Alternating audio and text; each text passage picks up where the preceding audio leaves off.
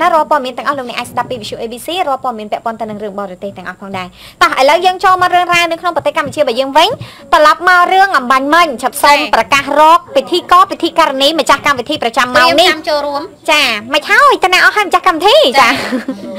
ប្រិមិត្តចាឥឡូវនេះមានរឿងដែលត្រូវអត់ប្រិមិត្តជួយដោះស្រាយហើយចានៅក្នុងកម្មវិធីរបស់យើងដោយសារតែមានប្អូនស្រីម្នាក់គាត់ តាក់តអូសំទោសយើងហៅគាត់ថាបងស្រីវិញចាបងស្រីម្នាក់គាត់តាក់តមកមកវិសុ ABC ហើយគាត់បានមកដល់ទៀតប៉ុន្តែដោយសារតែយើងរក្សាគម្លាតនឹងគ្នាទទួលអត់ដឹងថាគាត់មកទេអត់ដឹងមកគាត់និយាយមកបាត់យើងនិយាយតាមទូរស័ព្ទចាអញ្ចឹងឥឡូវចេះដើម្បីឲ្យដឹងថារឿងរ៉ាវយ៉ាងម៉េចយើងជួបជាមួយគាត់ទាំងអស់គ្នាតែម្ដងទូរស័ព្ទនេះយើងដោតបានទេអត់អត់តោះឥឡូវយើងសូមជួបជាមួយគាត់ដើម្បីឲ្យគាត់បាននិយាយពីរឿងរ៉ាវរបស់គាត់ដោយសារតែវគ្គមុនហ្នឹងយើងបានស្ដាប់ខ្លះហើយតែឥឡូវក្នុងម៉ោងនេះយើងមានការ live អញ្ចឹងយើងចង់ឲ្យសម្លេងគាត់ចូលក្នុង live ប្រិមត្តនៅក្នុងការ live អាច comment ជួយឲ្យយោបល់បានចាហើយប្រិមត្តដែលកំពុងងស្ដាប់តាមវិទ្យុក៏អាចស្ដាប់លំអិតឡើងវិញដើម្បីជួយឲ្យគំនិតទៅគាត់ថាគាត់គួរធ្វើយ៉ាងម៉េចបានជាពិសេសសូមឲ្យពូមីងបងប្អូនរបស់យើងចាអ្នកដែលគាត់ដឹងផ្នែកផ្លូវច្បាប់តំណែង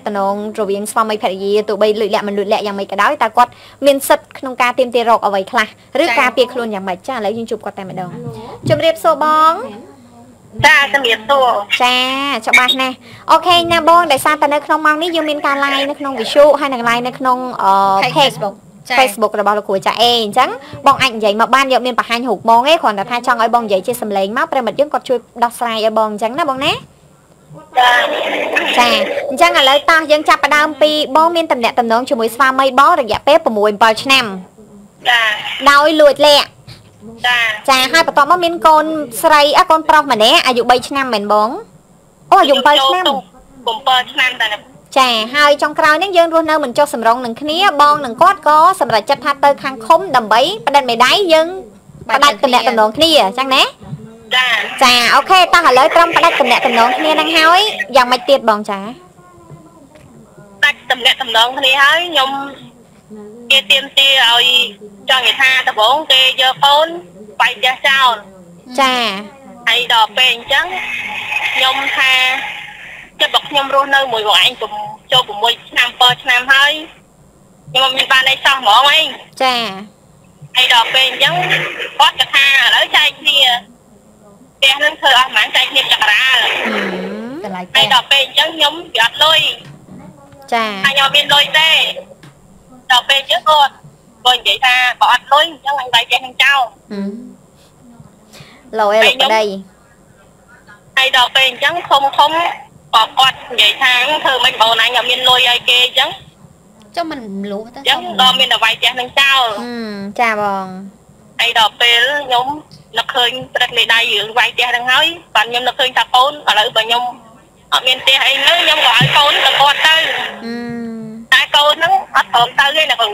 អូអញ្ចឹងកូនហ្នឹងអត់ព្រមទៅទេណាចាកូនហ្នឹងអត់ព្រមទៅទេចាកូនហ្នឹងយកតែហ្នឹងតែខ្ញុំហ្នឹងតែមកថាអញគឺ ត្រូវតែយកកូននឹងទៅដល់បានខ្ញុំថាបើយកទៅមិនបើកូនទៅព្រមទៅហ្នឹងចាបើថាអញធ្វើវិធីមិនក៏ដោយអញយកទៅដល់បានចូលលក្ខណៈខំអត់លែងអីដល់អញ្ចឹងមិនថាខ្ញុំចង់សួររឿងចំណុចរឿងកូនអញ្ចឹងណាកូនចង់សួរហ្នឹងចង់សួរថាមិនដែរបងសួរថាចុះបើកូនអត់ទៅមួយប៉ាវាបើនៅមួយខ្ញុំហើយចុះរឿងផ្ទះអីបានមិនអញ្ចឹងចាចុះបើកូនព្រមទៅបងសម្រេចថាឲ្យទៅអញ្ចឹងណោះ ហ្នឹងហើយបើសម្រាប់ថាកូនទៅខ្ញុំព្រមឲ្យទៅយល់ថាខ្លួនហើយបើបងព្រមឲ្យកូនទៅប្តីបងថាគាត់អត់វាយផ្ទះនឹងចោលទេអញ្ចឹងមែននៅតែវាយនៅតែវាយអូនៅតែបងស្រីដែលគាត់ព្រមឲ្យកូននឹងព្រោះគាត់យល់ថាតែគេវាយតែគាត់មិនមាននៅទេបងឲ្យសុំសួរមួយទៀតចាចុះបើកូនបងអត់ព្រមទៅតើបងរីករាយនឹងចិញ្ចឹមកូនបងហ៎បើសិនជាអត់មានផ្ទះនៅបងអាចទ្រាំចិញ្ចឹមកូនបងបានទេបើគាត់ដាច់ខាតគាត់មិនព្រមទៅខ្ញុំព្រមចិញ្ចឹមតែណាបង កូនធំចាំបែបមិនអារម្មណ៍មិនដែរបើសិនជាយើងអត់មានផ្ទះមានអីឲ្យកូនអញ្ចឹងណាមែនតើអត់អញ្ចឹងមិនថានឹងខ្ញុំជឿមានហេតុផលអញ្ចឹងណាគ្រូរឿងកូនវាព្រមទៅអញ្ចឹងឲ្យចុះផ្ទះហ្នឹងគាត់លឺសូថាវាយចោលគាត់អាចអត់វាយបានអត់អញ្ចឹងណាចុះបើឥឡូវដាច់ខាតផ្ទះហ្នឹងត្រូវតែវាយចោលខ្ញុំខ្ញុំខ្ញុំលើកឧទាហរណ៍ឯងខ្ញុំចង់សួរចិត្តបងវិញឧទាហរណ៍ថាឥឡូវផ្ទះហ្នឹងគឺត្រូវតែវាយចោលហើយពីព្រោះយើងយើងយើងព្រមព្រៀងគ្នាអញ្ចឹងណា អឺហើយបន្ទាប់មកកូនគាត់អត់ព្រមទៅទេអញ្ចឹងស្វាមីបងប្រាប់ថាយល់ព្រមឲ្យកូននៅជាមួយបងតើបងគិតម៉េចខ្ញុំអគាត់ឲ្យកូនខ្ញុំមកខ្ញុំទៅខ្ញុំយកកូននឹងមកចិញ្ចឹមណាកូននឹងហើយយកតែចិញ្ចឹមគ្នារបៀបម៉េចទៅណាធ្វើអីឬក៏យ៉ាងម៉េចបងឯងគិតមើលថាបងឯងនឹងធ្វើយ៉ាងម៉េចខ្ញុំមួយថ្ងៃខ្ញុំបាក់ចិត្តតែខ្ញុំសុំសួរបងឯងមួយបានទេ បងឯងសំណោះកូនទេស្រឡាញ់កូនទេ7ឆ្នាំអីពេលនិយាយចឹងខ្ញុំសំណោះកូនខ្ញុំស្រឡាញ់កូនចាហើយដល់ពេលឡើងធំល្ងាចវិញគេអាងអាងរឿងវាយផ្ទះចោលខ្ញុំនឹកឃើញតែកូននឹងក៏មានផ្ទះនៅបានខ្ញុំឲ្យតែឥឡូវកូនមកជើទៅពលឲ្យខាងប្តីចោះអឺចុះបងបើសិនជាបងឯងបកគលកូននឹងឲ្យទៅប្តីហើយប្តីត្រូវទាអាហារកិច្ចចិញ្ចឹមកូនមកឯងគិតមិន ព្រោះធម្មតាកូនរបស់អ្នកទាំងពីរបើកូននឹងនៅខាងណាមិនទាន់គ្រប់អាយុ8 10ឆ្នាំភាគីមួយខាងទៀតទៅត្រូវផ្ដល់អាហារត្រកិច្ចឲ្យចិញ្ចឹមរហូតដល់8 10ឆ្នាំណាបងឯងមានលុយបងឲ្យគាត់អត់គាត់ត្រូវទាលុយពីបងទៀតព្រោះគាត់ត្រូវចិញ្ចឹមកូនចុះឧបមាថាខ្ញុំយកកូនខ្ញុំមកចិញ្ចឹមតែចំពោះថាខាងប្តីខ្ញុំនឹងគឺដាច់ខាតគឺត្រូវតែយកកូនទៅតែកូនវាអត់ទៅចាខ្ញុំខ្ញុំអត់និយាយរឿងគេខ្ញុំនិយាយរឿងបងសិន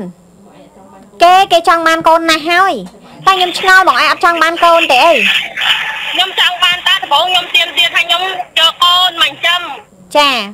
យកកូនមកចិញ្ចឹមហើយហើយខ្ញុំថាផ្ទះហ្នឹងគឺផ្ទះហ្នឹងគាត់ថាធ្វើឲ្យកូននៅតាពីដំបូងឡើយគាត់ខ្លាញ់ខ្ញុំអញ្ចឹងខ្ញុំពោះធំពោះអីអញ្ចឹងណាចាហើយដល់ពេលអញ្ចឹងខ្ញុំឡើងធំទៅម្សិលមិញហ្នឹងខ្ញុំខ្ញុំទៀមទាថាខ្ញុំយកកូនខ្ញុំចិញ្ចឹមកូន ផ្ទះនឹងអត់វាយចោលដែរតែគាត់អត់ព្រមទេចាទៀមទាទៀមទារឿងកូនយកហើយផ្ទះគឺគាត់ត្រូវវាយចោលហើយបើអត់វាយចោលមានលុយឲ្យពាក់កណ្ដាលអញ្ចឹងហើយខ្ញុំវាមានលុយឲ្យគាត់ពាក់កណ្ដាលអញ្ចឹងឥឡូវចេះបងបងអើយឥឡូវរឿងដែលបងពិបាកដោះស្រាយបំផុតនៅពេលនេះគឺរឿងអីថាប្រពន្ធយកកូនគេឈប់វាយតែអត់កូនវាអត់ព្រមទៅខាងឪពុក អូខេអញ្ចឹងចង់ថាជួយឲ្យពួកយើងជួយនិយាយជាមួយកូនឬធ្វើម៉េចដើម្បីឲ្យកូនព្រមទៅនៅខាងឪពុកចឹងមែនអត់ទេខ្ញុំចង់និយាយថាកូនវាអត់ចង់ទៅខាងឪពុកខ្ញុំខ្ញុំយកកូនចាំវិញអញ្ចឹងណាព្រោះខ្ញុំខឹងរឿងអត់ផ្ទះនៅអីចឹងខ្ញុំ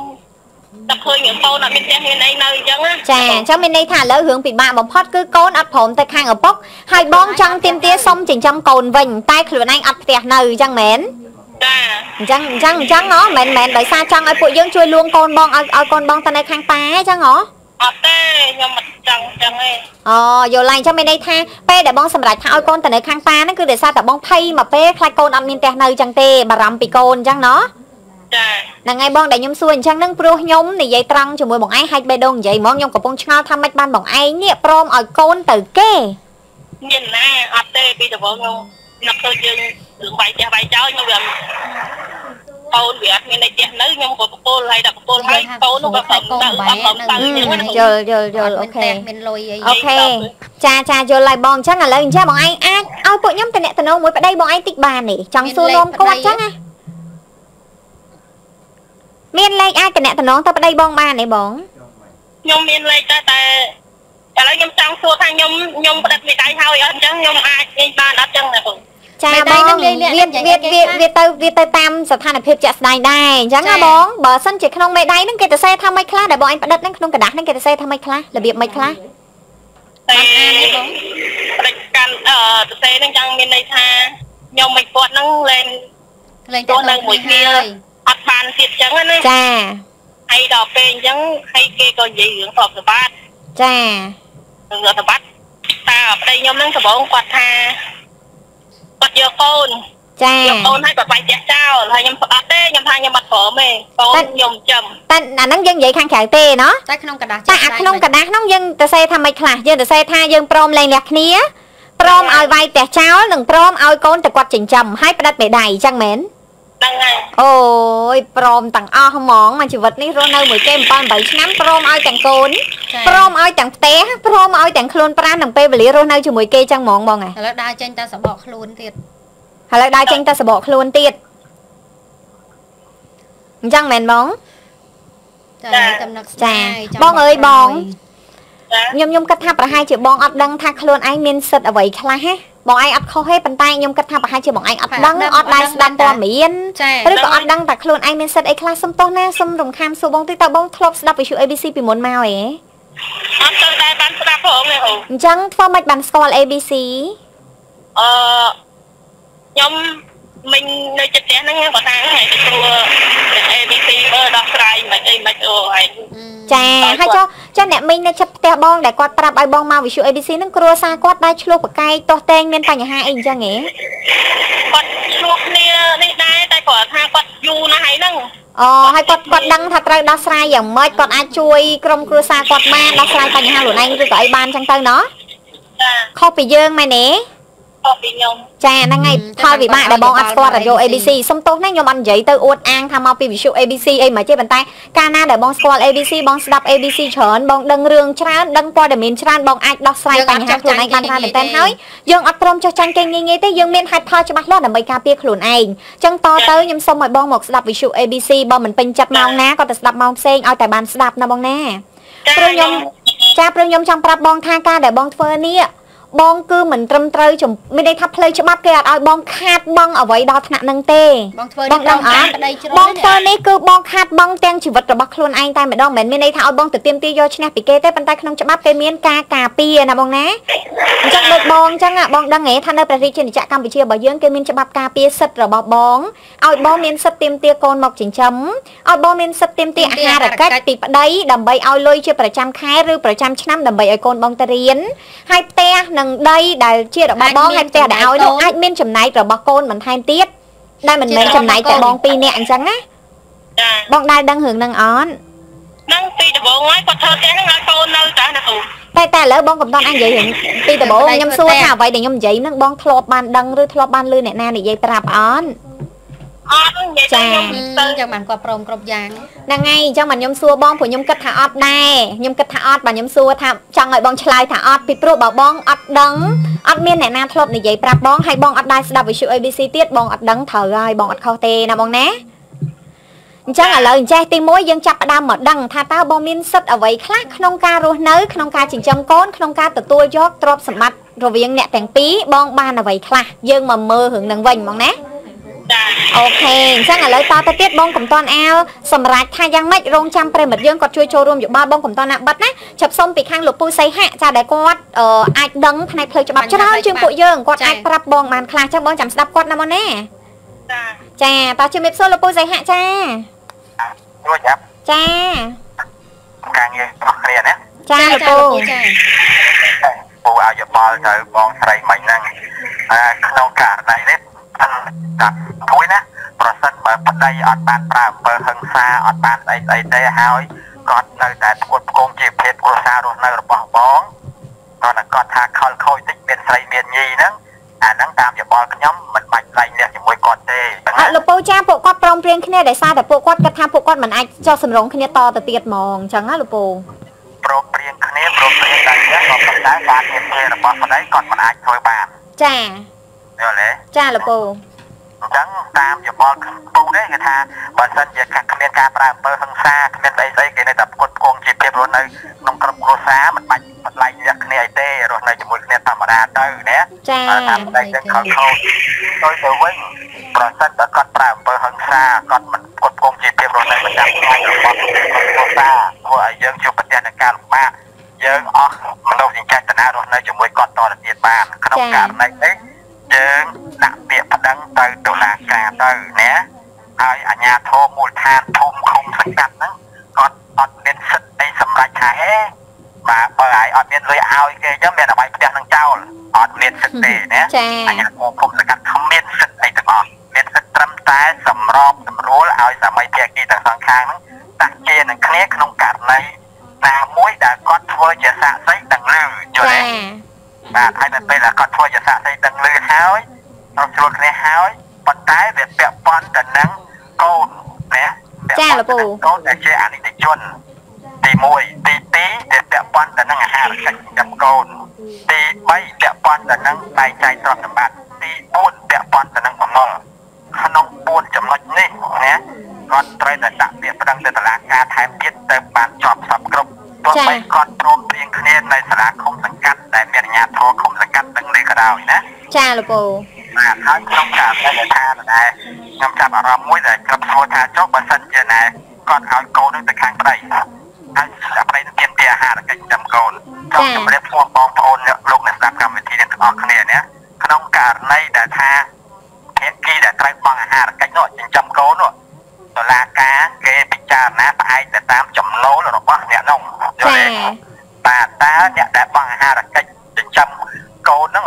មានចំណូលថេរឬក៏ចំណូលអថេចំណូលថេខ្ញុំចង់និយាយសម្ដែងទៅលើគាត់ធ្វើការនៅក្នុងស្ថាប័នណាមួយមានប្រាក់វាវត្តប្រាក់ខែប្រចាំខែប្រចាំថ្ងៃអីត្រឹមត្រូវណា ចាលោកពូហៅថាចំណូលថេក្នុងករណីដែលមានចំណូលថេតឡាការកំណត់ឲ្យបង់តែអាច20ទៅ30%នៃចំណូលថេប្រចាំខែហ្នឹងចា៎លើកឡើងតែមានការព្រមព្រៀងរបស់គូភាគីតែបើគ្មានការព្រមព្រៀងរបស់គូភាគីទេតឡាការពិចារណាផ្អែកទៅតាមផ្លូវច្បាប់គឺឲ្យបង់20ទៅ30%ចា៎លើចំណូលថេហ្នឹងទុកអាសល់អាប្រមាណហ្នឹងឲ្យខាងភាគីដែលត្រូវបង់ហ្នឹងរកផងហ្នឹងណាចា៎លោកពូអត់ទេផ្ទុយទៅវិញបើសិនជាអ្នកដែលត្រូវបង់អាហារកិច្ចហ្នឹងគ្មានចំណូលថេទេចំណូលគាត់ជាចំណូលអថេអថេខ្ញុំចង់និយាយតែថាគាត់រស់ស៊ីកាត់ដេរលក់ដូរ អ្នកធ្វើស្រែសេចក្ការចា៎ក្នុងករណីនេះគឺថារាជការគេពិចារណាឲ្យបង់ទៅតាមលទ្ធភាពណាពេលណាមានបង់ពេលណាគ្មានអត់អត់មានបញ្ហាទេណាចាលោកពូបង់ជម្រាបជូនពីការបង់អាហារកិច្ចចិញ្ចឹមកូនឲ្យចំពោះអ្នកដែលត្រូវបង់អាហារកិច្ចចិញ្ចឹមកូនហ្នឹងដឹងណាទីមួយទៀតករណីមួយទៀតខ្ញុំចង់ជម្រាបជូននេះទៀតគាត់ដាច់ចិត្តថាឲ្យកូននឹងទៅប្តីចាកូនអត់ព្រមទៅទេណាចាកូនអត់ព្រមទៅទេលោកពូអត់កូនអត់ព្រមទៅទេនោះហើយគាត់នៅតែបង្ខំថាឲ្យកូននៅទៅប្តីទៀតនោះណាអានឹងវាធ្វើឲ្យប៉ះពាល់ដល់អនាគតរបស់ក្មេងចាក្មេងចង់ទៅនៅជាមួយឧទាហរណ៍ក្មេងអត់ចង់ទៅនៅជាមួយនរណាឈ្មោះកទេប៉ុន្តែតែតម្រូវឲ្យគាត់ទៅទៀតអញ្ចឹងគាត់អត់ព្រមទៅនៅទេគាត់នឹងខូចចិត្តគាត់នឹងខូចអារម្មណ៍គាត់ដើរលេងគាត់ព្រឹកទេគាត់មានឆ្នាំឬក៏គាត់ខ្វះទៀតរហូតដល់ ធ្វើអត្តឃាតទៀតចាពូគាត់ធ្វើអត្តឃាតលេងឆ្នាំចងក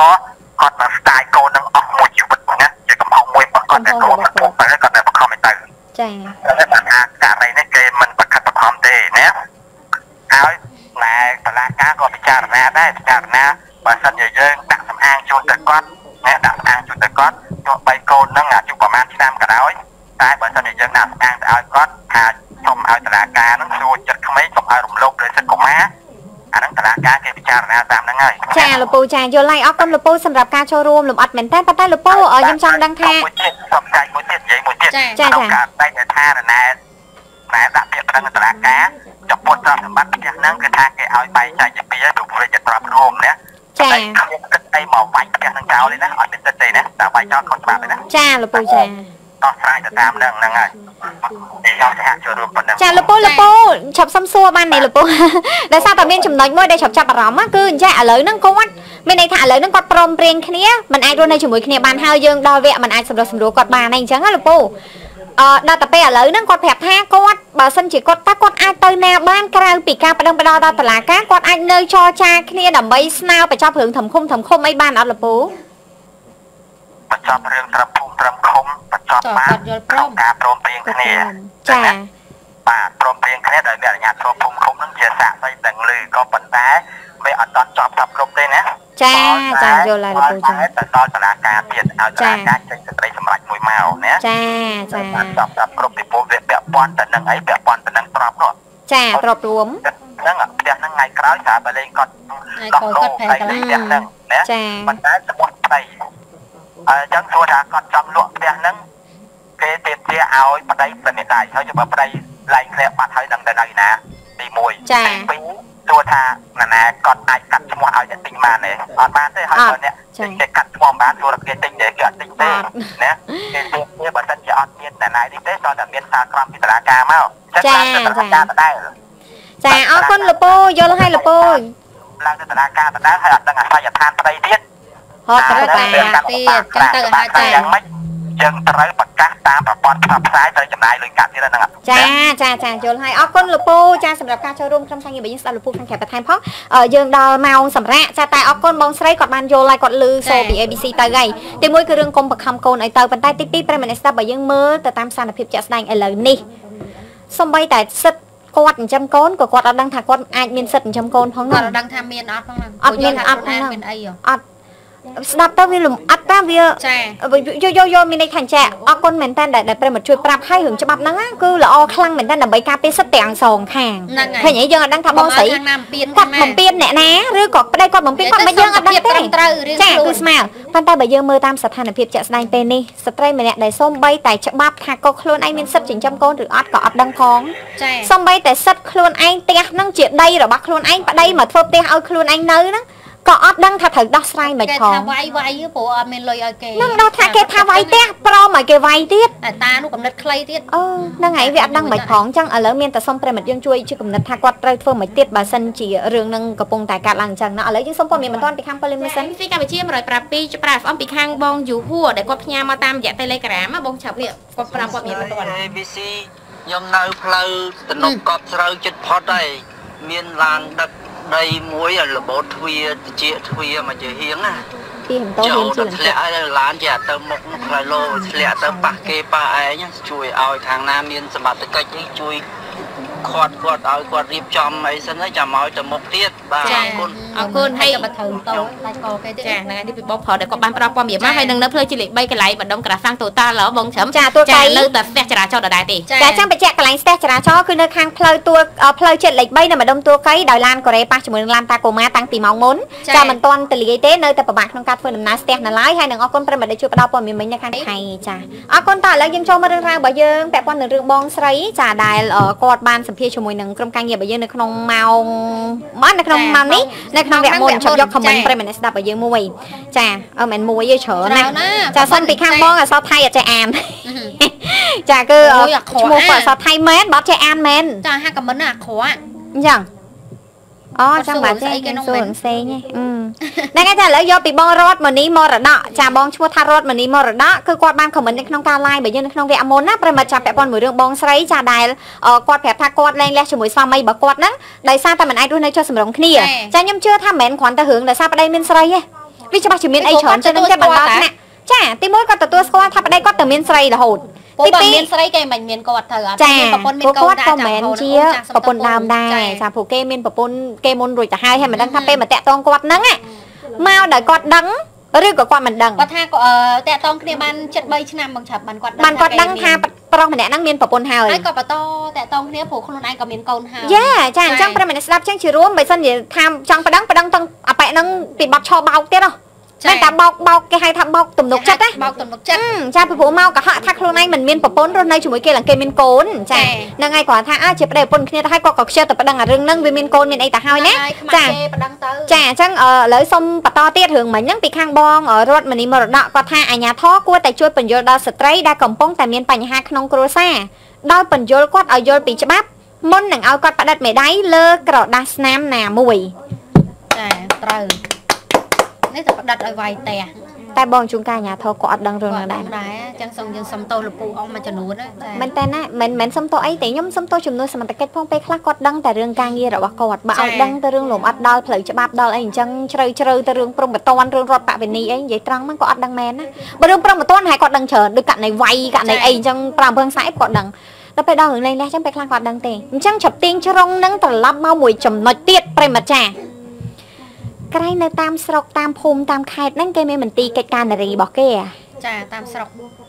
តាមស្រុកគេមានមន្ទីរកិច្ចការនារី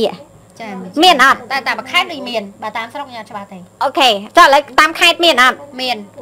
ចុះសំសួរមួយប្រិមត្តនេះច្របាត់ដឹងមែនតើណាសួរតាមបែបក្រសួងមានមតិឯងបងសួរតាមបែបចង់ដឹងចាសួរតាមបែបចង់ដឹងត្រូវហើយ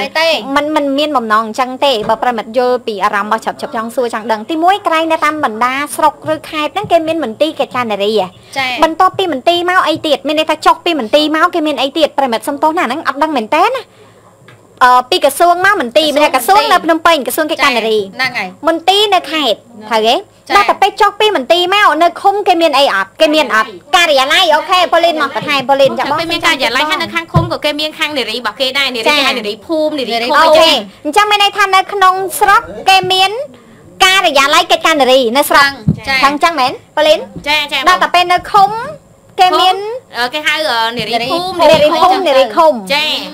អឺសំតពួកគាត់ដែលជានារីភូមិនារីឃុំហ្នឹងគាត់គឺជាអ្នកដោះស្រាយបញ្ហាពាក់ព័ន្ធទៅនឹងនារីនៅខាងក្រសួងកិច្ចការនារីមែនអញ្ចឹងមែនឬក៏គាត់នារីភូមិនារីឃុំហ្នឹងខាងខាងស្ថាប័នណាប្រិមត្តឈប់សុំទោសមែនតើណាសួរបាត់សួរមែនតែនពីព្រោះរឿងនេះមិនមែនជួបមួយថ្ងៃមិនមែនជួបម្នាក់មិនមែនជួបមួយកន្លែង រាប់ពាន់រាប់ម៉ឺនស្រុកភូមិនៅក្នុងព្រះរាជាណាចក្រកម្ពុជាជួបនេះរឿងនេះរាល់ដងតែពួកគាត់ពិតជាមិនដឹងថាត្រូវទៅរកអ្នកណាឲ្យជួយដោះស្រាយឲ្យគាត់ទេហើយគាត់អត់ដឹងមែនថាតើគាត់ត្រូវទៅសួរពីអ្នកណាគាត់ទទួលបានអីខ្លះទី1មែនទេមែនទី2ខ្ញុំជឿថាអាញាធិសមត្ថកិច្ចក៏គាត់អត់មានពេលមកអង្គុយដោះស្រាយអង្គុយបញ្យល់ណែបងស្រីបងឯងត្រូវធ្វើអញ្ចេះរឿងវាត្រូវចេះគាត់អត់មានពេលទេពួកមកមកមកឃុំប៉លិសមានតែ9នាក់ទេហើយបើឲ្យតែដឹងរឿងលំអិតតែស្ត្រីបានអីបរោះបានអីប្រហែលជាគាត់ដឹងទេអញ្ចឹងតើ មន្ត្រីសមត្ថកិច្ចនៅពេលដែលទទួលបានអញ្ចឹងជប់លើកឧទាហរណ៍មួយនៅខាងអឺ ក្រសួងអនៅខាងអីគេជនពិការចរិតយើងអាចយកទៅដាក់បានសង្គមកិច្ចអូខ្ញុំ10ឆ្នាំហើយភ្លេចតែពាក្យសង្គមកិច្ចនឹងរហូតឧទាហរណ៍ថារឿងសង្គមកិច្ចអញ្ចឹងនៅពេលណាដែលមានមនុស្សមានបញ្ហាវិបលាសអីអញ្ចឹងទៅខាងតំណែងតំណងប៉ុបលីប៉ុបលីគេចាត់ឯកសាររួចអស់ហើយគេរៀបចំគេតំណែងតំណងសង្គមកិច្ចឲ្យសង្គមកិច្ចតំណែងតំណងចាត់ការរឿងនឹងតចុះសមត្ថកិច្ចរដងសំទោសពេលដែលមានបញ្ហាពាក់ព័ន្ធនឹងស្វាមីភរិយាដែលភរិយាមើលទៅមានការបាត់សិទ្ធិណាមួយឬអីអញ្ចឹងគាត់បើឯកសារនោះបញ្ជូនទៅក្រសួងកិច្ចការនារីបានអត់ ឬក៏មានតំណែងតំណងជាមួយអ្នកណាដែលដោះស្រាយបញ្ហារឿងនារីអត់ក្រែងក្រសួងកិច្ចការនារីមានទួនាទីដោះស្រាយបញ្ហាពាក់ព័ន្ធនឹងនារីហ៎ត្រូវអត់នារីរងការធ្វើបាបនារីរងការរំលោភបំពានរងការរំលោភសិទ្ធិហើយមានអង្គការមានអីសហការជាមួយក្រសួងកិច្ចការនារីទៀតមែនអត់មែនតើបើរឿងអញ្ចឹងសមត្ថកិច្ចមិញតាមប៉ាខ្ញុំសុំទោសណាខ្ញុំនិយាយពាក្យមិញខ្ញុំអត់សួរទេមេឃុំទេមិនមែនពូប៉ូលីសហ្នឹងហើយមេភូមិមេឃុំមិញខ្ញុំអត់សួរទេថាគាត់នៅណាប៉ុន្តែគាត់ធ្វើអញ្ចឹងអត់ត្រូវទេគាត់សម្របសម្រួលឲ្យគេត្រូវគ្នាបាន តែគាត់អត់មានសិទ្ធឲ្យគេលែងលះគ្នាទេទី1ទី2គាត់តែនិយាយរឿងវាយផ្ទះចោលទៀតថាធ្វើម៉េចបើអត់លុយឲ្យគេពួកអត់ត្រូវមែនតើបាននិយាយពីរឿងគុណធម៌វិញមនុស្សស្រីម្នាក់ខំប្រឹងបង្កើតកូនឲ្យលោកឯងហើយនេះគេសំបីតែផ្ទះនៅគេមានសិទ្ធឲ្យដីគេសោះដីគេសោះអើកំមុំដីបងស្រីមិញសោះហើយមកបោកប្រាក់គេឡើង3ឆ្នាំ ខ្ញុំសុំទោសច្បាប់ខ្ញុំយល់យើងត្រូវតែស្មើភាពគ្នាទាំងសងខាងតែអ្នកឯងខុសអត់អ្នកឯងមកបោកប្រាស់គេថាអ្នកឯងអត់ទាន់មានប្រពន្ធមករស់នៅជាមួយគេឡើង3ឆ្នាំមកគេនឹងកូនហើយនេះបានគេដឹងថាអ្នកឯងមានប្រពន្ធក៏ថោកទាបម្ល៉េះស្មាតោសម្បត្តិផ្ទះមួយទុកឲ្យគាត់នៅទៅយ៉ាងណាបងទៅរត់ត្រីខូចណាតិចបំផុតក៏ម៉ែក៏ចំណាយថាឥឡូវ5ដុល្លារទៅឲ្យបែងយក5ដុល្លារឲ្យបើឆ្នាំម៉ែ10000ម៉ែ7ឆ្នាំនឹងកូនលុយមើលវាលើសលុយធ្វើផ្ទះនឹងទៀតហ៎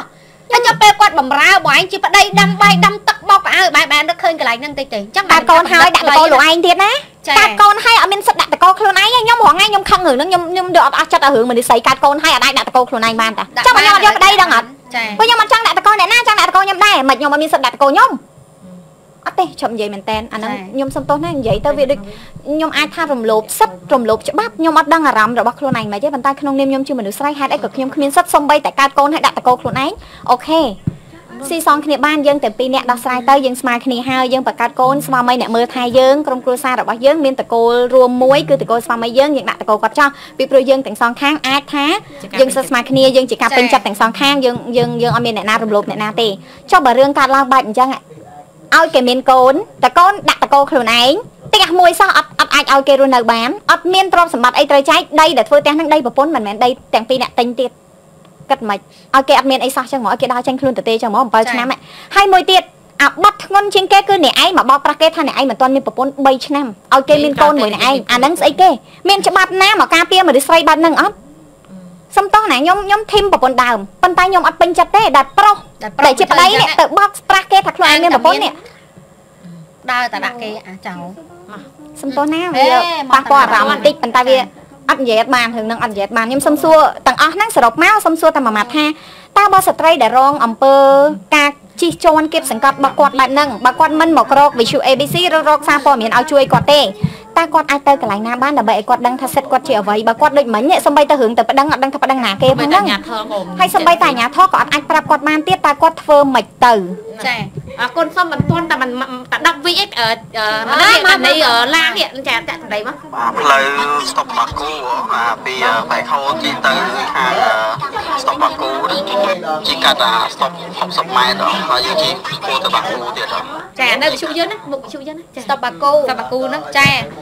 អរគុណច្រើនប៉លិសលីមកណឺផងពូចាអរគុណច្រើនសម្រាប់អត់មានរឿងប៉លិសច្រើនណាត្រូវចាស់ទេរឿងហ្នឹងត្រូវតាមត បើសិនជាប៉លិសចាប់ឡាននឹងអត់បានខ្ញុំរករឿងអត់ឈប់ទេសម្រាប់ចាច្រើនណាស់ចាអើដល់ម៉ោងហើយចាហ្នឹងហើយប្រិមិត្តបើយើងយើងជួបគ្នានៅវគ្គក្រោយជាបន្តទៀតណាហើយសម្រាប់បងប្អូនបើយើងគាត់ត្រូវការកំងទិញបទផាសុខភាព ABC ចាខឹងហើយកែលក់ធម្មតាទេណាចាអញ្ចឹងប្រិមិត្តបើយើងតាក់ទងកំងទិញបានណាទៅដល់កោ30សាឡាមួយកែ86000ចា ABC Oil 23ដុល្លារលើខ្លាញ់ underscore លើអាស៊ីតប្រា ABC Oil អំពុំមិញណាចាលេខទូរស័ព្ទដៃបងឆាប់092 23 24 25ចានៅលេខទូរស័ព្ទដៃរបស់មនិតចាគឺ092 92 23 24អរគុណយើងសុំពេលអញ្ញាសម្រាប់ប្រេ ABC កាលពីខ្ញុំពេញម្ល៉េះហើយមានបញ្ហាសក់ស្កៅសំប្រាថ្នាំលាបសក់រ៉េវឡនខានសៀលដែលអាចជ្រាបចូលសក់ស្កៅ100%មានជាតិអាម៉ូញ៉ាមិនប្រឡាក់ស្បែកបានមិនប៉ះពាល់សុខភាពក្រោយពេលលាបសរសៃសក់ទន់រលោងដោយសរសៃសូត្ររ៉េវឡនខានសៀលផលិតផលរ៉េវឡនពិតត្រូវតែបិទរ៉េវឡនស្តង់ដា នាងមិនដែលឃើញស្អាតអញ្ចឹងសោះនាងប្រហែលជាមានអ្វីជួយហើយ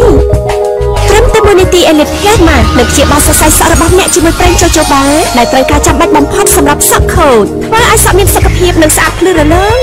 Elite ផ្លុំគៀបរាល់ថ្ងៃមែនទេកុំព្រួយអីអត់កំបាក់ខ្ញុំគឺប្រើ Elite លាបតែមួយគ្រាប់អាចការពារសរសៃសក់មិនឲ្យឆេះខូច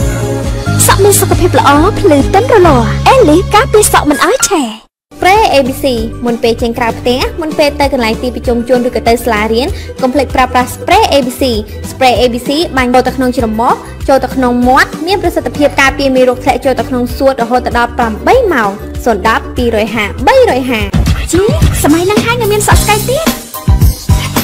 ត្រូវប្រើថ្នាំលាបសក់រ៉េវឡនហើយ មានបញ្ហាសក់ស្កៅសូមប្រើថ្នាំលាបសក់រ៉េវឡនខានស៊ីលដែលអាចជ្រាបចូលសក់ស្កៅ100%មានជាតិអាម៉ូញ៉ាមិនប្រឡាក់ស្បែកបានមិនប៉ះពាល់សុខភាពក្រោយពេលលាបសរសៃសក់ទន់រលោងដោយសរសៃសូត្ររ៉េវឡនខានស៊ីលផលិតផលរ៉េវឡនពិតត្រូវតែបិទរ៉េវឡនស្តង់ដានាងមិនដែលឃើញស្អាតអញ្ចឹងសោះនាងប្រហែលជាមានអ្វីជួយហើយ ត្រឹមតែមួយនាទី Elite Hair Mask នឹងព្យាបាលសរសៃសក់របស់អ្នកជាមួយប្រេងចុះចុះបាល់ដែលត្រូវការចាំបាច់បំផុតសម្រាប់សក់ខូចធ្វើឲ្យសក់មានសុខភាពនិងស្អាតភ្លឺរលោង Elite ផ្លុំគៀបរាល់ថ្ងៃមែនទេកុំព្រួយអីអត់កំបាក់ខ្ញុំគឺប្រើ Elite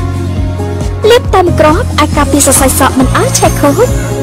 សក់មានសុខភាពល្អភ្លឺទន់រលាស់ Elite ការពារសក់មិនឲ្យឆេះ Spray ABC មុនពេលចេញក្រៅផ្ទះមុនពេលទៅកន្លែងទីប្រជុំជនឬក៏ទៅសាលារៀនកុំភ្លេចប្រើប្រាស់ Spray ABC Spray ABC បាញ់ចូលទៅក្នុងច្រមុះចូលទៅក្នុងមាត់មានប្រសិទ្ធភាពការពារមេរោគធ្លាក់ចូលទៅក្នុងសួតរហូតដល់8ម៉ោង010 250 350